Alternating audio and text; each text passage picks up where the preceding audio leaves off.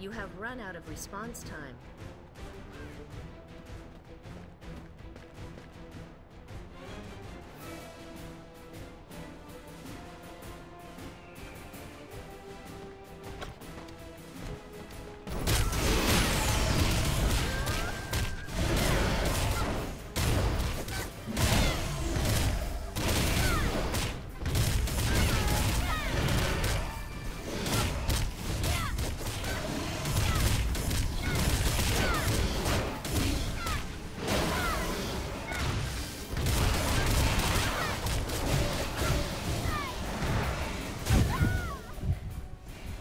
try again later.